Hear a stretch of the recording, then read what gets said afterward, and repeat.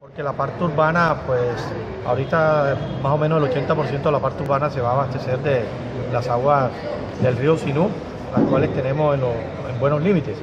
Eh, vamos a montar unas estrategias de pozos profundos para estas comunidades, para con la ayuda del gobierno nacional conseguir los recursos necesarios para construirle estos pozos para cubrir estas necesidades a esta gente en los municipios con reporte de emergencia?